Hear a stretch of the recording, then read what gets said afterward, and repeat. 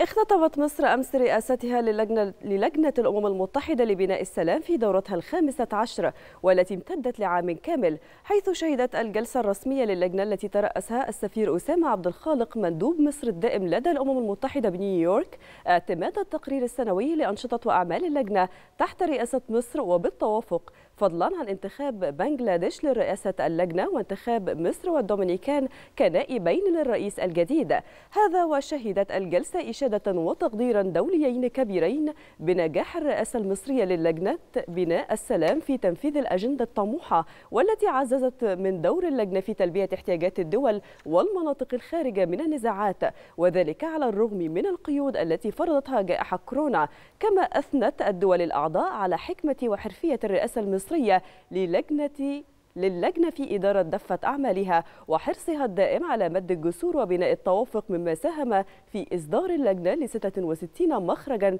في عام 2021 وهو الأكثر مقارنة بالسنوات الماضية.